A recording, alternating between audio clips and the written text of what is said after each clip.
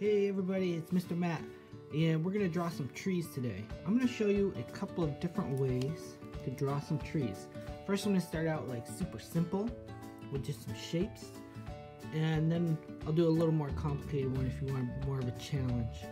Um, we're gonna draw pine trees or evergreen trees. I'm gonna start with my green marker, and I'm just gonna make a triangle. There's my triangle. If I want, I can color that in. That'll look pretty tree-like. I mean, it just looks like a green triangle. But then, if I add a small round rectangle at the bottom for a tree trunk, now we have a tree. It's just two simple shapes we've already practiced before. Now, I'm gonna pencil in a line for the trunk for a little more complicated evergreen tree. Okay, that looks pretty good. Then I'm gonna draw some branches off here like this. And if you look at evergreen trees, the branches up top are smaller than the branches on the bottom because the new branches grow up top and the bottom branches are older, so they're a little bit bigger. I'm going to do some little U shapes like this.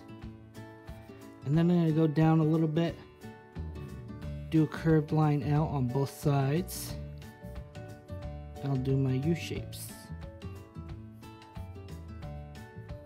These kind of look like the bottom of the branches. This is a really kind of cartoony, stylized way of drawing evergreen tree. I like drawing them this way. Okay. So doing my U's. Okay, this will be the last branch for this tree. I'm to bring this all the way across. And then I can finish that. If I remembered my eraser, I would erase that line. Maybe just color this in green.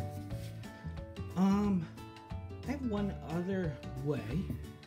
It's actually a little, kind of an easy way to draw evergreen trees too. Starting with the trunk. We're always like starting with the trunk and building off of the trunk. I'm just gonna shade it with the edge of my pencil. not like holding it like usual. I'm gonna bring it down. So I'm using the edge. And I'll put one of my branches in just like that. And then I'm gonna just shade it in. And I'll do the same thing over here.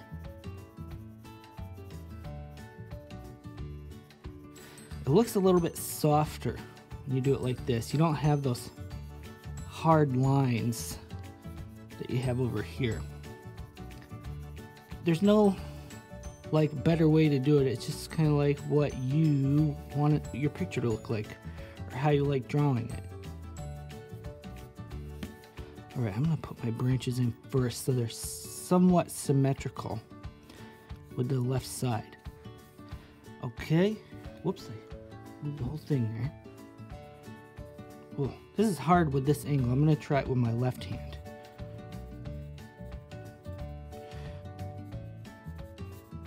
Ooh. Alright. And I'm putting them all kind of pointing down. Not all evergreen trees point down like that, but these ones that I'm drawing today do. Okay. Alright. Knock in my trunk. If I want, I could put a little hint of the ground line there. So there's three different ways to draw an evergreen tree. Oh, I gotta write my name, right? Mr. Matt. All right. That's it. Thank you for drawing with me today. I'd love to see pictures of your trees so you can just email them to me. My email will be somewhere probably with this video. All right. Have a great day.